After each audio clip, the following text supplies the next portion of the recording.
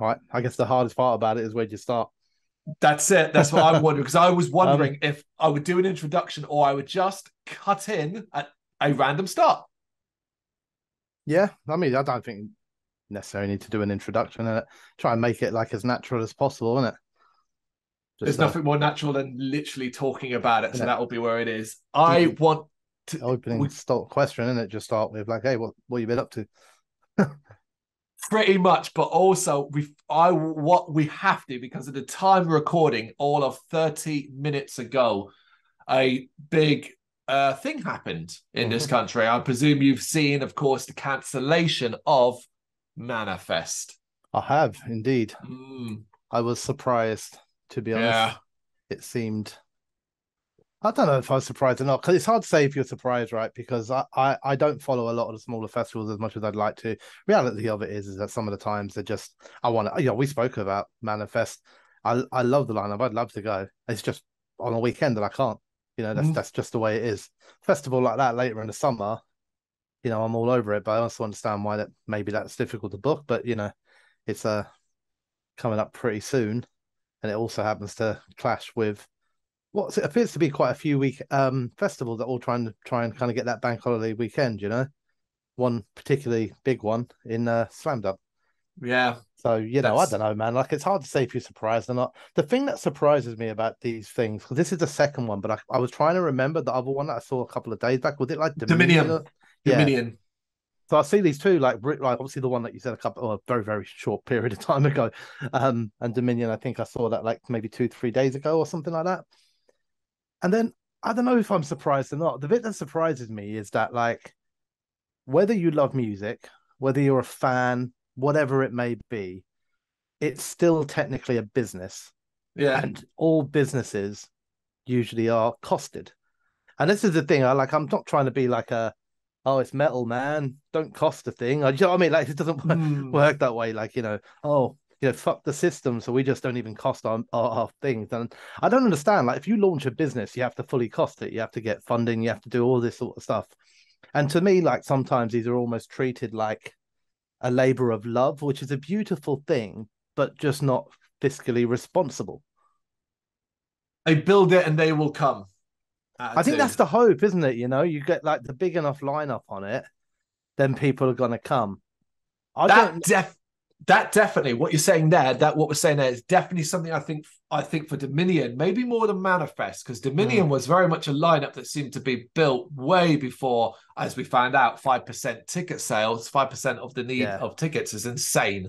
Yeah, absolutely. You know, and uh, we, we we both classify ourselves obviously as lovers of heavy metal. Uh, I didn't have tickets to either one. That's not like a diss to them or anything like that. That's just the nice. you know the way it is, isn't it? You know, um, I think it's sad and I think it's a shame that the tickets haven't sold, but I also just don't think it's like it clearly is a model that doesn't work, right? That's the thing, right? You know, both of these festivals, correct me if I'm wrong here, but Dominion as well wasn't like a one day or anything like that. It was like a full on, you know, and that to me is like a big commitment, right? When you're trying to get mm-hmm. a festival off the ground.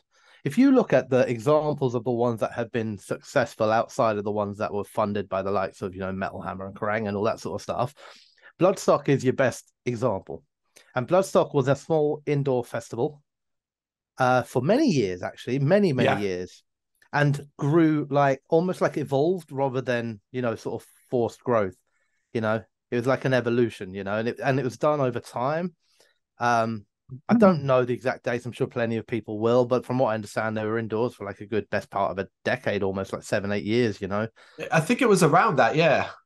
So, as, and then I don't know the history behind all these festivals, but you kind of see like a festival pop up now, and it's going like, I'm, I'm going to go straight in for a three day. I'm going to get all these bands in. It just seems like a massive commitment.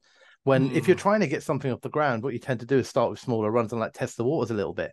I can see things like this, so being a madly like not a gap in the market, but room in the market for um loads of one dayers. You know what I mean? Like one day is a, a, thing, like a nice sort of dip your toe in the water. There's not going to be as much of an upfront cost and investment and everything like that. And you grow your fan base, right? You grow the appetite for it. You get good feedback from the people for the one dayers, and maybe uh, a couple of years down the line, you're still a one day, but in a bigger venue, and then maybe you have a half day before the one day, and then you know seven, eight years down the line, what you've got tickets selling out every single year, and you go right, let's let's let's have a crack at it. Let's let's go three days or whatever. I just don't really understand the logic in at a time like like now where it's not just about money, it's not about any of that stuff. It's also about, in my honest opinion, market saturation of both music, uh, of genres, and of potential events. You know, that I just think like to go in and like have this huge sort of festival, even though they were good prices, good lineups as well, you know, strong lineups on all yeah. counts. It's still like people, you, you sort of everyone's sort of fighting each other, right? Like everyone's like, oh, we're, we're going to run a festival, we're going to run a festival, we're going to run a festival. Everyone's doing festivals you know, then you've got the big festivals all coming up that people are putting money aside for. Now you've got more and more people that it seems are like willing to say travel into mainland Europe or whatever yeah. and um, experience something outside of the UK. You've got a lot of bands this year. I th- I think kind of making up for the last couple of years. You know, like cancelled tours and stuff like that. You know, there's been a lot of big bands playing mm. over uh, the UK. You know, like been to Wembley Arena a few times, seen bands that we haven't seen for a while. So I don't know. It just feels to me like every time there's a gig on, whereas in the past that might be like, oh, that's really cool. I haven't been to a show for a couple of weeks. Now it's almost like, oh, cool. There's so there's 42 gigs I could go to next month. Which which four or five can I go to?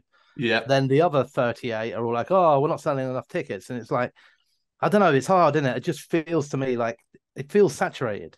Mm. Every part of it at the moment, gigs, music, the amount of albums being released, the amount of new bands forming, it feels like it's saturated.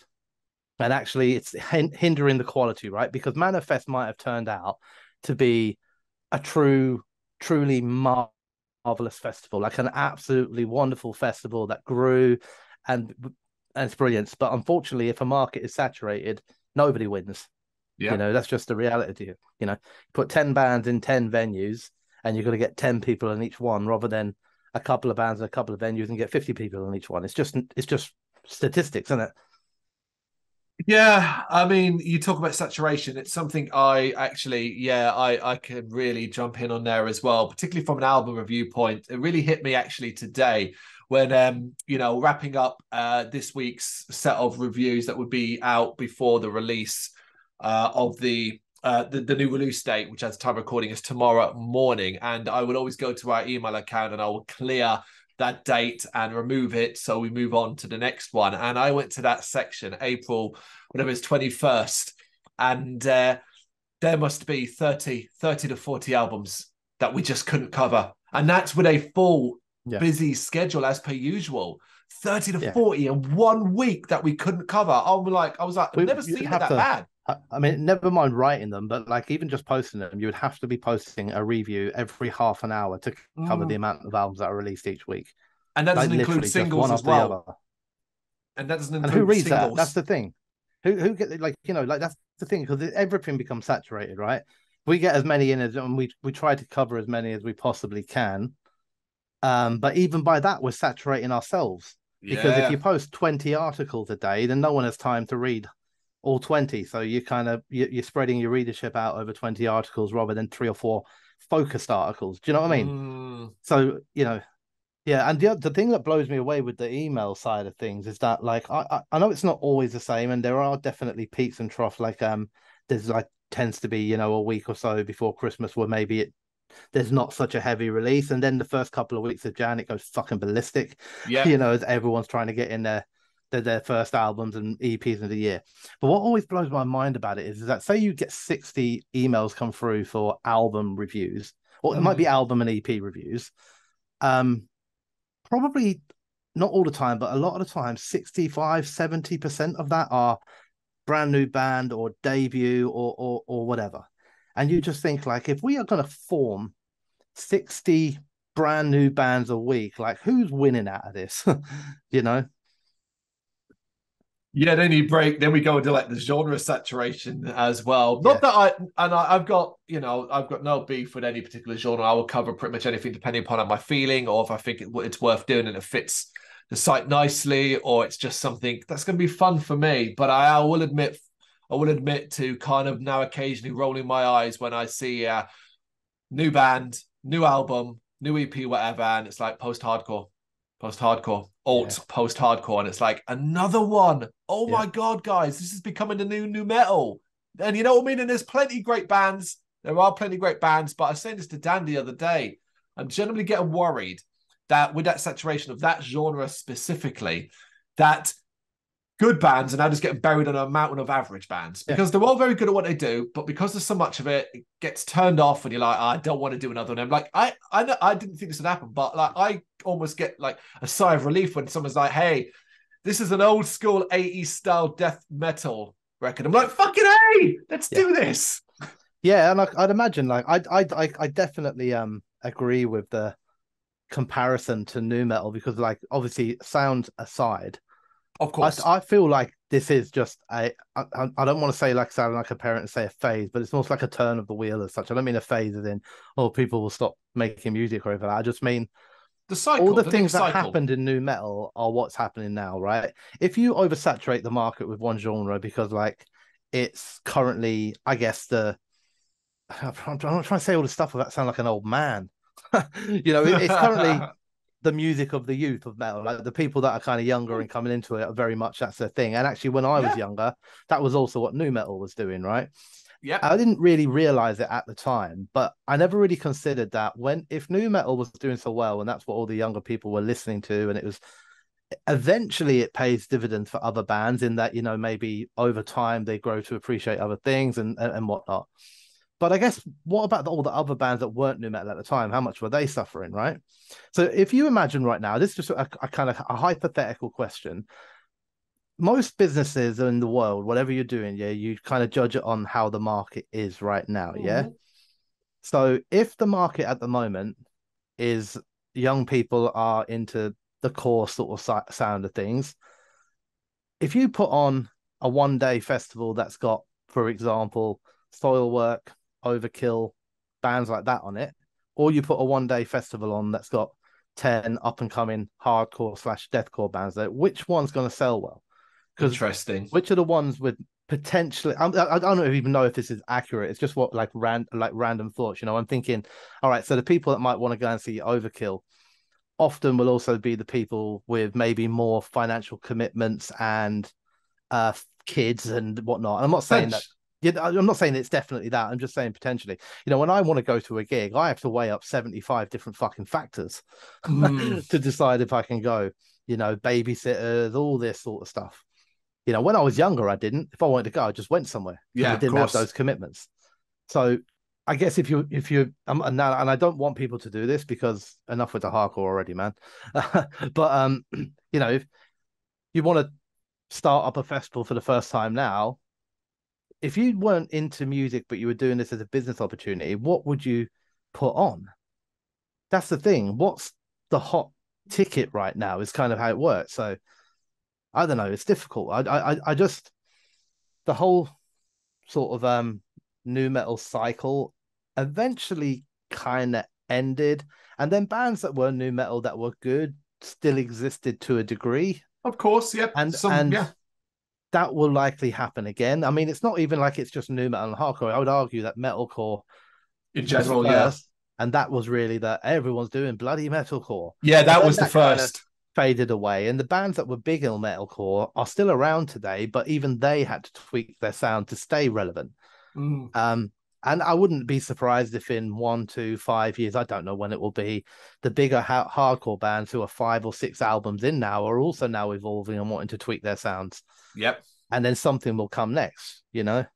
There'll always be another, I don't know, it's not a fad as such because I do get that people love it, you know, but there'll be another thing, won't there? It's, like, it's trash in the 80s, man. Like, do you know what I mean?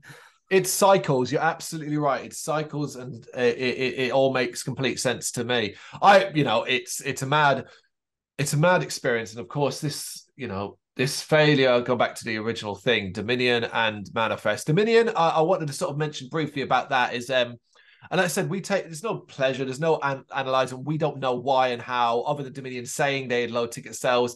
Manorfest has pretty much said the same thing in a statement that you can read online. Including Facebook Live, you can go watch that back to uh, get the information there. But with the Dominion thing, one of the things that I really, really uh, I noticed was I'd heard of it, but that was about it. And it was like, wow, this either didn't get the reach it needed to on social media and so on, it wasn't promoted well. And that was a notable thing for me. But I can't say the same for Manorfest. However, I'm not sure that's technically true because I was paying a bit more attention to Manorfest then. And obviously, when you pay attention to something in social media, you will get. Yeah. Social, yeah, that's. I, I, think so. And I think, like, but you know, the thing, I have seen, genuinely seen Manorfest kind of paid ads on Facebook. Um, I'm pretty sure I've seen that. But okay. the thing that I noticed that the where I've noticed Manorfest the most is as marketing by the bands that were playing themselves. I've seen Ghosts of Atlantis, other bands like that regularly yeah. posting, you know, here's what we're playing the next couple of months with Manorfest, pushing it like you'd want the bands to do. But like yes. you said with Dominion, I don't even know if I was aware of the festival. To be honest, I might have maybe recognized the name or something like that, but I certainly haven't seen like a big push on it. Mm. However, it's hard to know whether that's their fault or not because we also know that social media and algorithms can kill you. And I guess if you're already struggling for ticket sales, constantly investing more and more and more money into paying for paid ads and stuff like that becomes a tough decision to make, you know. Mm. But the bands that were playing um, Dominion Fest, I, I follow a lot of these bands on social media. I don't really remember seeing any of them like post from them sort of pushing it. Even Blind Guardian, I saw one. I can. I saw one from Blind Guardian where it was basically these are our shows throughout the year and so on, and it was yeah. part of that. Yeah, but that's but yeah, that's so loads. No, that's not. No.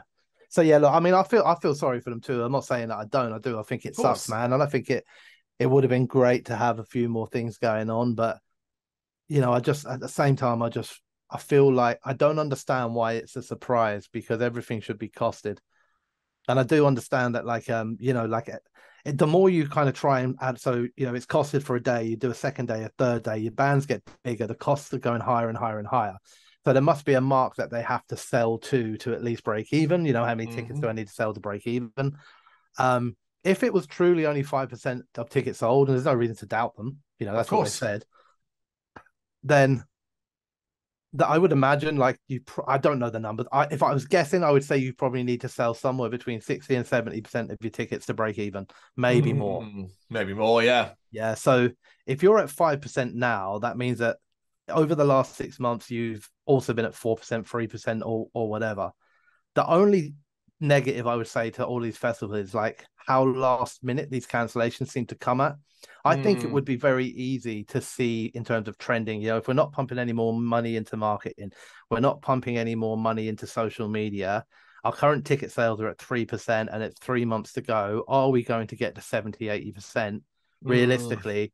most people will probably be able to say the answer is no. So I don't know. How do you suddenly sell 65% of your tickets with on, in week five?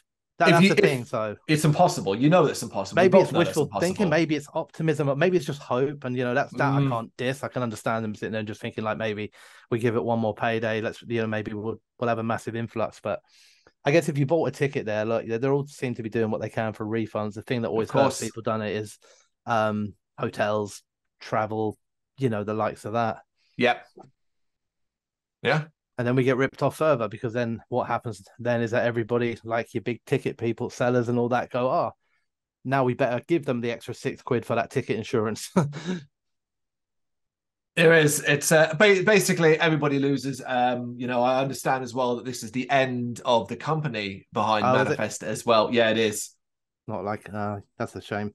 It is a shame man but i don't know you know these sorts of things i think like look if you maybe they want to come one day come back but i just think like set your ambitions lower. Yeah. Make don't, yourself a stable business. don't then... run before you can walk, man. Yeah.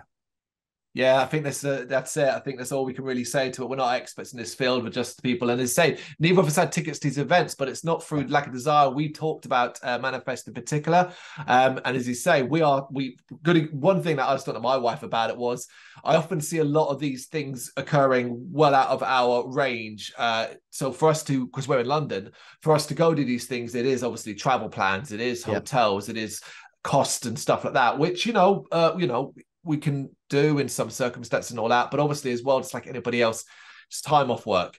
it's arrangements. For example, as I said with you, you know, you've got a young daughter who needs Yeah. babysitting, looking after, and things like that. You've got a dog that needs caring for. All these things have to come into account. Yeah. So it simply falls apart, particularly when you've got an option that's closer to the home that suits and fits around not just your life, but your family and so on. Um, yeah, it's not through lack of desire, it's just lack of ability. Yeah, that's what it is, and that'll be the same for a lot of people. Yeah. You know. It- yeah. So, like, yeah, like you said, a sad thing. It's happened in some ways, and now I'm, I'm trying to take a positive out of a negative. If I don't know, sometimes, like I guess for other festivals that have managed to go ahead, it can maybe provide them a boost to make them more financially stable because people that were hoping to get somewhere else, uh, uh, to get to a festival around that time will have to look elsewhere. Yeah. You know, Yeah, because downloads now sold out. Uh, Bloodstock will likely hit that mark at some point Yep. before it starts as well. So they're the big, big, big uh, boys and girls out of the way. You know, think people you got Damnation later in the year, and Damnation's very upfront about its costs and obviously uh, what Yep. they need to do to survive and keep going. So you can always kind of follow that. Plenty, plenty, plenty, plenty to come, no doubt as well. Particularly as I say, I think you're right in the one day department and so on. Of course, folks, if you do have a festival, a one day festival or whatever, and you want us to talk about it, let us know. Mm. Send an email. We'll post about it. We'll try and share it. We'll try and talk Yep. about it as much as we possibly can. don't depend Um, on Facebook. Yes, 100%. Uh, what else has been going on? Actually, I know I wanted you to talk about something. I was like, yep, I'll ask Brendan about this. And you can talk about it because, while of course, you've written about it, speaking about it's two different Ah. things. You went to a big gig and saw three different bands. different but arena bands right you know i guess even band number one if i was ever going to see them it's likely to be at something like this rather than a ticket i bought so uh the ovo arena hard to Mm. find out to say wembley arena to That's the one. rest, to the rest of us um and this was to see Lordi baby metal and sabaton of course with Ooh. the main priority being for sabaton you know not going to pretend the ticket was bought on the basis of sabaton whether any other bands that I knew were there or not, we still would have bought the tickets because talk about how you sell tickets. What a fucking bargain price this ticket was, man. Well, So- how much was it? Well, the tickets were only 40, 40 quid at Wembley Arena for what to some people would be three huge bands. Like to me, it was like 40 quid for Sabaton at Wembley Arena. That's a fucking bargain. Imagine if you also love Baby Metal and Lordi. I mean, you know, Wembley Arena, arena, the word means higher cost, right? And what I found absolutely astonishing, and obviously there's booking fees and all that sort of stuff. So you're probably coming in at around 45, 48 quid, something like that anyway. You know, uh, price of a t shirt, 40 quid. Ah, You know, and I'm not complaining about that, but I just thought it was hilarious that the ticket was the same price as a t shirt. No, I think we should complain about forty pound, forty, and that, and I'm going to presume. I, I mean, we don't know this for sure, but I'm going to take a wild punt that a venue like Wembley Arena, the Oh, yeah. OVO Arena, is taking a merch cut. That's exactly what we we were saying. That's what we were looking at it and saying, like, you know, look, 40 quid for a t shirt. There was selling like baby metal hoodies there for 75 quid. Fuck. Do you know what I mean? Like, so, and, it weren't even like, um, and it is probably potentially even venue set because all t-shirts were 40 quid. So Lordi, Baby Metal, and Sabaton, or at least the ones that Oh. I saw. I'm pretty sure, I don't remember now. I'm trying to remember if I saw Lordi t-shirts, but the Baby Metal and the Sabaton ones were definitely because I had to purchase some of them. Mm. But yeah, so look, I mean, Wait, you were to I buy think- a Baby Metal t-shirt? Sorry, you had to buy a Baby Metal t-shirt. Ha! Not. Amazing. I no, no, no, worse, worse, worse. Actually, I had to buy a Baby Metal hoodie. That's how I know that. That's how I know there was 75 fucking pounds. Amazing. But yeah, I think I spent two hundred and I spent two and a half hundred easy on merch there because I bought myself a Sabaton t-shirt. They had such a good range of t-shirts, Carl. It was fucking Yeah. awesome.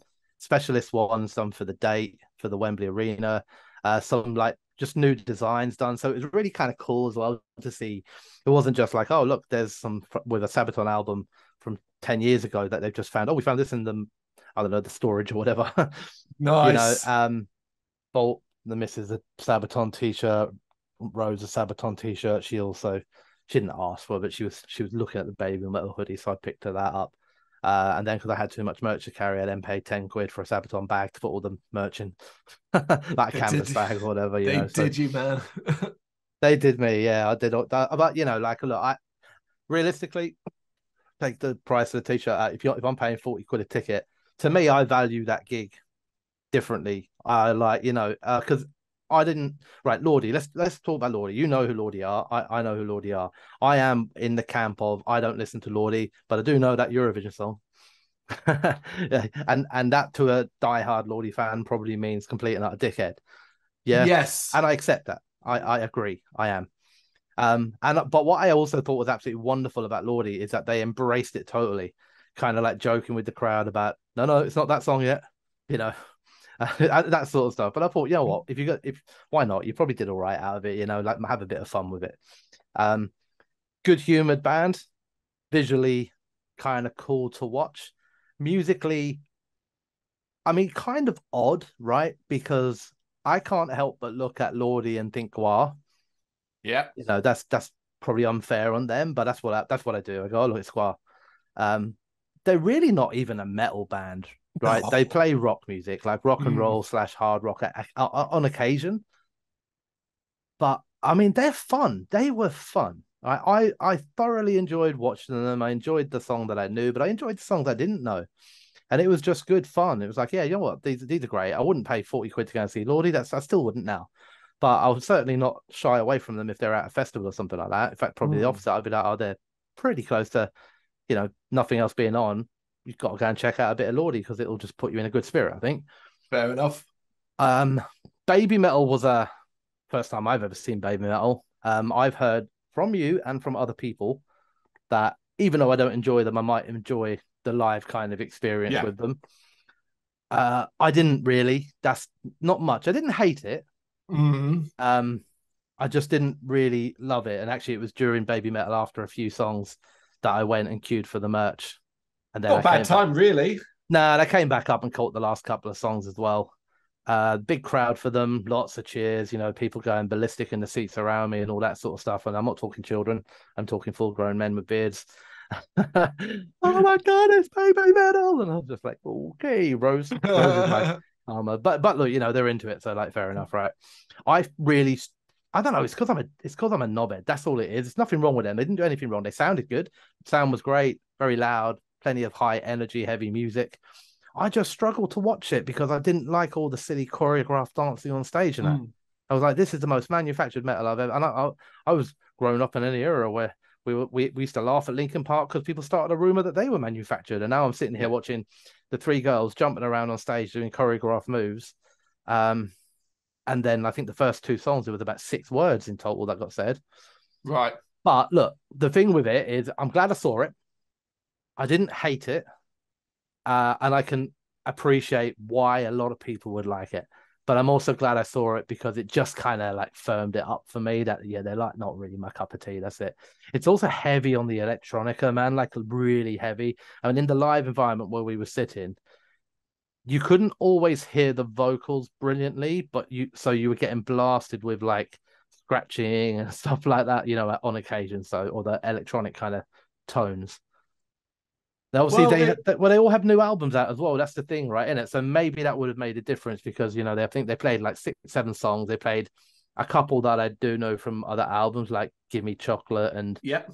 Papaya or whatever but they also played like a collection of like songs from the new album which I, I i didn't know anything at all so.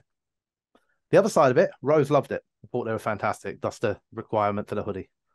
Yeah, I mean, you you kind of nailed it there. People uh, always say, "Oh, well, you know, you see them live and you might feel differently." You've seen them live now. You can now mark down. You've heard them on record. You've seen them live. Mhm. Um, outside of meeting them, um, I don't know what else you can do. And even then, if you meet them, it's going to change necessarily of you on the music. No, I don't- i have a feeling it could be potentially be quite awkward if i uh, yeah, I, I'm not after an interview with uh, baby. Before we move on to the other one, I wanted to a- ask you this question, right?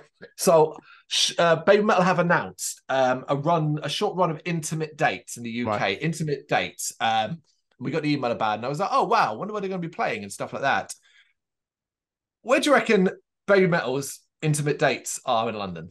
in london i mean firstly i hope it isn't actually genuinely anywhere intimate because i don't think that music will work in a small venue if i'm Mhm. guessing uh, let's go electric ballroom You're thinking way too small because I went Oh, well, really? okay, yeah. i was i was going to go smaller and then i thought nah nah ballroom might be a good one so we're going roundhouse then That's you nailed it. Yeah. Two nights not in the intimate. roundhouse. Two two nights in the roundhouse and call that intimate. I Mm. laughed. All right, fair enough. They're an arena band, so fair enough. It's smaller and it'll be packed out, hence the two nights. Yeah. But when I saw intimate, scrolled down and saw roundhouse, I laughed. There was me in my head thinking, "Oh my god, a baby metal gonna play the underworld?" And it's like, nope. anyway, Yeah. yeah. So Sabaton, yes. Yeah, so I mean, it was brilliant. It was absolutely phenomenal, and it was it was really quite special. I felt like, um, firstly, right, there is a lot of um personal kind of emotions with these things because what I'm doing is I'm bringing my daughter to see bands for the first time, right? Mhm. That that adds an extra special layer to it. Um, as long as she comes out enjoying it, otherwise it ruins the whole fucking thing. And she's like, "Oh, this shit," you know? That's unlikely, yeah. yeah, it's unlikely. But um, you know, like I mean, just the whole experience, right? Firstly, kind of we we hung out in Wembley for a little bit, had a couple of drinks, had something to eat, went down there. The whole top end of the Ovo Arena, the Wembley Arena, has got like the whole Sabaton thing lit up with all the band members like on in lights. The queue was phenomenal. There was a really positive vibe. You know, there was, it was sunny as well when it was a nice weather on Saturday. There's It people was, like yeah. sitting out on their jackets in that um, you know, the kind of uh open bit at the front of Wembley Arena, like sort of picnicking with their um bags of off license beers. There's people in the crowd singing Sabaton songs, like in the Mm. queue, all friendly, you know, people talking to each other, people high fiving Rose Arsenault if she's looking forward to it. You know, it's just really, really nice buzz, which I think is cool because they're not the sort of scout, they're not a scowly band, are they? Like, do you know what I mean? There's no, no one's trying to like Phil Anselmo the fuck out of this queue, man. Everyone's just like in a good, good positive vibe. You know, there were, as far as we are aware, and Sabaton did say that it's sold out. Right. It certainly looked and felt sold out. Yeah, because you could see the floor. Yeah. Uh, there's not. Yeah. Well, I mean, I couldn't. That was the problem. I like. I'm sorry. I could. I couldn't. I could see a, a ton of people, man. And like, uh, you know, Mm. I'm talking like we, we were there not too long ago, weren't we, for Machine Head? And um, yeah, we sort of stood around about like near where the sound desk is, and it was okay behind us, right? It weren't ran behind us, but this was That's all the right, way yeah. back to the bar, man. There was people standing Really? alongside the bar, like trying to trying to see in, and it was quite cool, and I think quite special. And I think that might also give people an indication of the intelligent pricing because Mm. Sabaton gave us like a bit of a story halfway through. So I can't remember all the band members' names, but the guitarist that we interviewed actually up on the YouTube channel, if anyone wants to see the interview when we interviewed him at Bloodstock, he came out to speak to us uh, near near the end of the show, and um, he said that he gave us like he they had like on so the- I mean obviously you you know there's going to be a lot of visuals right? There's a lot of theatrics okay? That's not a surprise. But they also had like a kind of screen uh, behind them as well that they were like showing things on. So during the songs it was playing videos um, as well as the big backdrops and all that. And Yep. occasionally it would show the crowd so you kind of like looking back on each other. And then he had like a almost like one of those sort of pen cams and he showed like an itinerary that they'd kept from 20 years ago when they played their first ever show in the UK. Uh, Yeah. it- sorry, the first ever show in London. And it was at a venue called the Purple Turtle. Oh, I remember the purple turtle. I Became recognize the, name, but I um, couldn't remember where what it was. Oh, became the borderline. Became the Oh, right. borderline. That place. So they played there 20 years ago. Um, they said they had a three by five stage, but the same amount of band members, and they also used to try and do theatrics back then. Uh, they, they he said like let's have a look at the itinerary, and it was like uh, car parking, no, toilets for the band, no, um, and it was just like this long list of like things you can't have. And he said like they ended up playing with like two members on the stage and everyone else standing at different points on the floor trying to play. They Yeah. said it could have held, I think they said around 200 people. Uh, they sold something like 50 tickets. Um, so they came over, they played it, they had a good time, they learned a lot, they went back, came back a few years later, played the Purple Turtle again. This time they sold 100 tickets. And he said, and that's what it's been like coming to London. He said, like, well, not in a horrible way. He said, you know, it's been hard. And at times we didn't know whether we would ever make it like Yeah. out here, you know, which I think I've heard them say something similar to that before. Or, know, Yeah, like they've always they kind of acknowledged that. Yeah. Hmm. you know, and he, and then he he got quite emotional. Really, it was quite beautiful. Like he he he was like, the crowd started cheering him. He was getting very emotional, and he was sort of standing there with his hands in his face, and he was like, sold out Wembley, you know. And it was like this is like really fucking special. Um, he then asked everybody to turn the lights on on the phone. Uh, because they were going to do a song now, and they everyone knew what it was going to be because he started like kind of introducing it, and they were like, usually in the song in the video we have snow, but we have no snow. So let's see if we can Oh. recreate the snow. Right. So all the lights are on. The ca- the screen behind him is now showing the lights coming back on the crowd because it's turned to like show the crowd. And I'm talking like everywhere, man. It's the most beautiful scene. And actually, if you go on Sabaton's Facebook page after the London show, one of the pictures on there is that guitarist from behind him standing there with his hands on his head, looking out at all the lights oh, and cool. looking like immensely emotional. Uh, and then, yes, obviously, Christmas Truce are played. Yeah, I figured it was going to be that. Yeah. But it was just full of like beautiful moments, right? You know, um, they went off, they did a proper encore. They went When you off, say pro- I read this, what did you mean by that? they didn't come back straight back out. The lights went off. The light, oh, the lights went off and started coming up. They were gone, uh, and they were gone for I would say six, seven minutes. I don't know if people can see that. There you go. That's what Brendan's Yeah, the, talking the about. Yeah. it. Yeah. it's quite, a, it's quite a like powerful picture, right? It is. It's very, it's very immense looking, isn't it? Yeah. yeah. And he um yeah so like uh six seven minutes of them being gone didn't come back out. Crowd cheering sabaton sabaton over and over. Foot stomping became a thing. I didn't know this was a thing. Everyone in every seat and on down on the floor all just doing their feet. Then, nice. then back to sabaton and then they came back out again after about six seven minutes. And i was like that's like a that's an old school encore right? You know? And i'm like i wonder if we hadn't chanted would they have come back out? Like i'm assuming they would have still but they were just hoping you'd chant right? Because they That's still it. you know but luckily everyone did. And like old school things i know it sounds stupid to say old school but things i remember from being at gigs when i was younger you know leaving the venue afterwards all the way back to the train station as people are still doing this crowd sing along bit to swedish pagans. Oh all the way yeah, yeah. on the tube uh going back towards like to get the elizabeth line people on the tube after we way away from wembley now suddenly hearing somebody singing a bit of Christmas Truce like with a group of people on a train. And when we got all the way back to slade green right we just as we were getting off the train we saw another couple wearing sabaton shirts who then stopped to like ask if everyone had a, how did you have a good time talking to rose and all that. And i was like it's quite a special thing right so musically great, sounded phenomenal, man. They really, really did. You know, uh, Rose losing her shit whenever Tommy played guitar, like in a spotlight went down on him, and she was like, "Imagine if he started playing the Majestica song." And it's like, he's not going to do that. He's But not going to do that. Yeah. It'd pretty cool, but I think the rest of the band would be pissed with him. um, every, you know, imagine a lot of pyro, right? A lot of confetti, explosions going off in certain songs. Um, good set list, you know, nice balance of songs like big kind of classics like you know Prima Victoria, Winged Hussars, all that sort of stuff, with some stuff that I even I wasn't always familiar with from maybe quite early albums.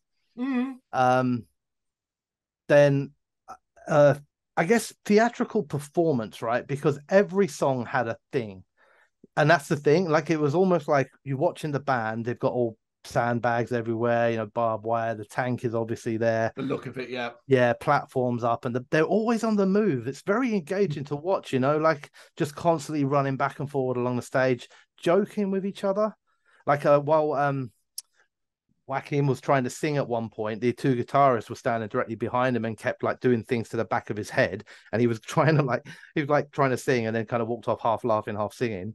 And they're just just literally looking like they're having a blast, right?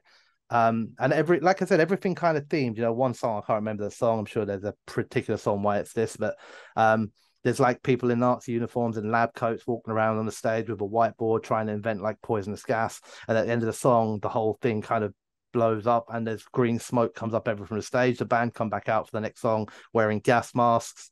Like, do you know what I mean? It was Oh, and it was just like, yeah, okay, these guys, I think, have firstly done something that I found to be immensely clever. You know, you want to make a mark, you want to come over here. And I think they wanted it from a personal reason. I think they wanted to sell out Wembley Arena. I think it was like a personal thing, 20 year anniversary of being in London, all that sort of stuff. Lower the ticket price, bring big bands, 40 quid, you know, and then give them something to fucking remember.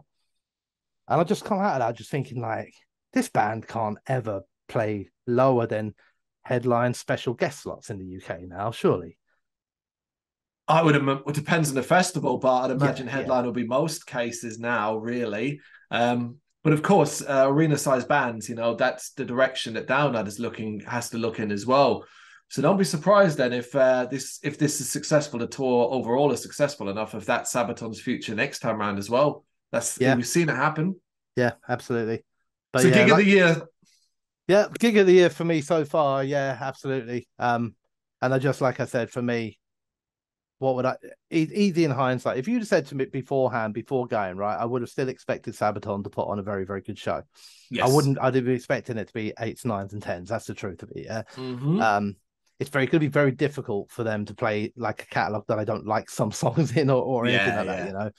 So, you know, what what what do I value that gig at to see Sabaton at Wembley Arena? And like that to me is a 60, 70, 80 quid show. Now, if I love the two bands that are with it, it's possibly a you know more you know, so uh, or, or maybe I'm comfortable at 70 quid. So, you know, 40 quid and then just the money that I saved on that, I just spent on their merch instead. So yeah. Yeah, that's the thing. Yeah, you certainly spent so much there. All right, what else has been going on? Got any other things to share? You've been doing, been up to, been going on, and enjoying, been hating? No, I mean I'm I'm still struggling a bit for time due to work commitments and that, so I haven't really been listening to as much music as I'd like to normally do. I think I kind of get to the point, you know, like especially if we're planning to do videos, and I'm like, okay, oh, shit, I can't really listen to too much new this week because I need to listen to the stuff for the track by track, and I'm kind of yeah. often, you know, balancing off between them. So, you know, I think I listened to what did I do? I listened to a, a an album from a band called Dim Wind. Okay, yeah, um, yeah which I particularly enjoyed. Thought was really really cool, full instrumental, but very emotive, very emotional, and yeah, really really cool. So that was nice. I managed to get like a, a new album in there. Um, I think that comes out on Friday. Tomorrow, yeah, yeah, that's called the futility of breathing. Uh, but yeah, aside from that, that's pretty much it. I've been working. Looking forward to some events coming up and uh, trying to actually I'll tell you what I am trying to do at the moment, but it doesn't I, I can't actually tell you the answer to it. Um, I'm trying to get my daughter at the moment to draft her bucket list for bands she'd like to see so that I can keep an eye out for tickets right. for it. And um, we ran into some problems straight away Go in that the first four or five bands that she put on were bands like say Ghosts of Atlantis. Um, and I'm like, ah, are they going to be in playing in a place with an upstairs? Hopefully they will in a couple of years' time. But mm. you know, and she was like, "Oh, I'd like to see," because she listens to bands that I listen to, and she's like, "I'd like to see War 16. I'd like to see, um, you know, Ghosts of Atlantis." Uh, Mum said we should go. She we should check out Red Method, and it's just like, oh, I don't think we're gonna quite be able to go to these ones just yet. Cause Not mostly, yet, yeah. unless they're supporting somebody, you know. But then you don't want to kind of pay. Well, I'll still go and see them. I think but yeah, so I've had to get her to redo her bucket list and, and say, right, okay, so we'll have that bigger arena list. bands. Come on, yeah. yeah. yeah. so she so far she's come back with one, which was Parkway Drive. So she but she's working on it. So that's not bad. That's not bad. Parkway Drive's an easy one there, an arena band, or at least a, a, a big venue with upstairs yeah. and so on. Yeah. Well, they will yeah, but... get all these fuckers out of Ali Pali because that's the only problem. A lot of them are coming over playing Alexandra Palace, don't they? Oh, do they these... have an? They don't have, have an upstairs, do they? It's just the open uh, floor. Yeah. I don't know. Yeah, that's true. Ali Pali is the current popular one. It's the neck. It's like the in between, isn't it? It's not Brixton size, mm, yeah, but it's not Wembley. Yeah. Yeah, I've been busy all week working uh, early's back to end tomorrow morning, thankfully. But I've had an interview pretty much every night, at least one interview every night this week. It's been a, it's been up and down, not because of bands like bad yeah. or anything like that. Um, you know, I've found my rhythm these days with interviews. And uh, you know, without blowing my own trumpet, I think I kill it personally. Um, but yeah, like uh, I think, oh god, I, I talked to Tombs, uh, T O T O O M S, the Irish uh, band who were Bloodstock last year. I talked to them, and man, oh man, did we have connection issues galore through that. And right. today, I was with uh, Through Fire, an American band, and that is again a really choppy connection issue one as well, um, and so on. But beyond that, it's been pretty cool. Dream Slain, uh, Veiled, their Incineration Fest as well. It's just yep. lots and lots of movies. We've got another one tomorrow. May have some next week, depending upon shifters as well. And really, I'm just trying to get through to May. I've got like bugger all going on throughout April, aside from like drinks here and there. And then like May is when it all kind of kicks in. I've got like two weeks off work. So, and originally we were going to be going away, but we're not now. And then it was kind of like, okay, well, what can we fill in that blanks there and it's like let's look around let's look around what keeps going on. And as you said at the very start of this video it's like yep you're not short on them you're not short on them you just got to pick and go. Right this one. And sometimes there's several in the same day um, and it's like okay well i'm gonna have to pick one of them which one am i gonna yeah. do? That.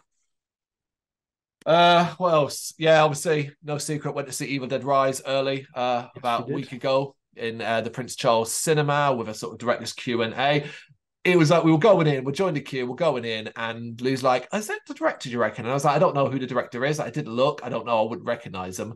So we walked past some dude sort of standing at the door, awkwardly sort of standing there, like you know, as people are filing past him. And then we were in the we're in the venue, and they're like, "Oh, we're going to introduce the movie. Here's the director," and it's him. I was like, "Ah, man." No, you you know, should look it- it up. He would have been like the only cool person to know the director. Oh yeah, but yeah, so he did a little introduction, obviously, uh, you know, the review um, Yeah. and uh, sort of live stream I did uh, about it afterwards, talking about it. You know, I absolutely loved it. The reason why I'm bringing it up is purely is because, folks, it's out on the 21st of April, fully in thea- the- theaters, in cinemas. And I, I wouldn't normally do this because I don't necessarily think we, our size, can offer any help, promotion, and so on and stuff like that. Yeah. But I do think we know our shit about horror. And I will tell people, look, go see this film.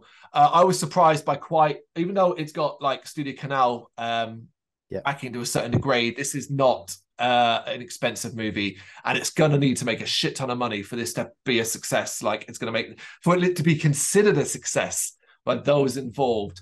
So that's kind of what I'm hoping is like. Make sure you go check this bad boy out. Do give Yeah. it a go. Seen a lot of positive press about it, like across Mm. the board. Actually, I don't think I've seen anything negative about it at all. So Yeah, and I hate cinemas. And you know, I fucking hate. I hate cinemas. It's one of the most I worst went to cinema. you just reminded me. I went to the cinema last. When did I go? Friday. Did you see Super Mario Brothers? I did. Yeah. Of course you did. Yeah. It's, all right. 3D as well, mate, in a big recliner. oh, really? Okay. But yeah, But no, was was it filled with obnoxious people? no, it's pretty empty to be honest. I went about Oh. ten thirty in the morning with my daughter, so it's probably a good time to go.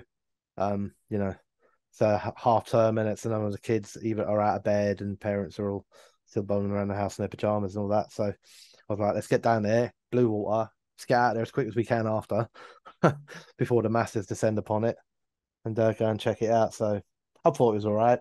It was good fun. I mean, all good. nah, I didn't think it was good. I thought it was all right Okay. but like you know rose enjoyed it more um i, I don't know like i just like it, it's so full of like just it's like the film's forced to be oh let's keep dropping like um easter eggs in all the way through. Like that, that's Right. kind of what it does you know which is fun and all that sort of stuff. The only thing i i but part of it that I, I thought was like absolutely hilarious was there's a point when they're all like caught in cages hanging above like a lava pit and all that and there's just this really depressed star like properly depressed and they're all trying to be optimistic and get out of this and he just kept uh, turn around and say stuff like there's no point we're all hurtling towards the inevitable void of death. And I, and I thought that stuff was just hilarious because it was like this proper like little cutesy you know sparkling star but just on the verge of death you know so but yeah aside from that it was uh, it's just a it's, a, it's fun i guess. You never watch it again like do you know what i mean? It's not the sort of film you go like oh i have to buy that and watch that three more times this year. It's like yep seen that. Move on I'll probably check it out when it eventually turns up like a home premiere and so on. It's simply the the thought of going to the cinema most times fills me with a level of dread um, because you know, in my opinion, people are obnoxious and they've turned that experience into they're at, like they're at home uh, and they Yeah. treat other people and the place like shit. Uh, so the idea of doing it when it would be a kids' film just it sends my blood cold. I'm saying to my wife, I was like, can't they just do adult only screenings? Because like normally when we do go see a film, what for kids movies yeah, yeah, oh yeah. Um, but normally when we do a film, we'd wait like two or three weeks till it's out, and then we would pick like one of the latest nights possible, and then on a random Monday or a Tuesday. So like it would be like that's how we saw Scream Yeah, yeah. Six in the cinema, and it was like three people in there with us, and they were still fucking dicks as well. yeah The big, you know, it's just um that's why I just can't. I, I, it's you know, it's a personal thing. It makes me uncomfortable, so I don't like to do it. Yeah, I'm Mm. not a huge fan of them myself. Uh, most I think they're very, very no. Because I know to be fair, like the movies themselves aren't actually that extortionately expensive. It's just the rest of the cinema that is. You know, you want to drink. Well, we Yeah. don't do normal sized drinks, but you can have like a super sized fucking American Coke. Like, yeah, but I just want a small one. It's like no, we do extra large or extra extra large, and and it's like okay, and how much is that? And it's like eight pound fifty or whatever. You're like, Yeah. hang on, that's the same price as the fucking movie. you know. But beyond that, elsewhere, um, me and Damon have started. We're gonna have started uh, probably the time this video goes out. Castlevania. We're running through Castlevania, Wow, the right. Netflix TV series now. As uh, Halo ended, The Last of Us ended. So we're like, well, which one's next? Castlevania has four seasons. I've already seen them and I really enjoyed it. So it's like, but he hadn't. It's like, okay, this will be cool. You've seen Castlevania? I, I watched some of it, but I'm not that big on the lore of Castlevania either, to be honest with you. So I didn't really mind the shows, but I didn't really get like the same level of enjoyment, I think, as you probably would have. Yeah, we're also doing uh, the Viva Pinata TV show. Oh, Which, I uh, uh, was one. Exactly right. It aired in like Random. 2006, uh, but in like 10 minute shorts, like 10 minute shorts, similar to Donkey Kong Country, that where it's like a yeah. animated TV show, and there's like 52 episodes. Just Oh. like it ran for a while. At least they're short though. Imagine it was hour long. Yes, yes, indeed. But yeah, I think that's about it. I think we'll call time in this video. We don't just keep rambling on trying to come up with stuff. Yes, that's our update. You got any thoughts you want to share with us? You got any thoughts on what we've talked about here? You know what to do. Let us know in the comments. Thank you very much for watching. If you liked what you saw, please help us out by giving us a thumbs up and hitting that subscribe button. If you really liked what you saw, consider donating to keep the website and channel running by buying us a coffee via our Ko-Fi page or picking up some merch from our Big Cartel store. You can check us out on gbhbl.com as well as via our social media Facebook, Instagram, and Twitter, as well as listen to our interviews via SoundCloud, Apple Music, and Spotify. Just search for GBHBL. Games, horror, and heavy metal. What else is life for?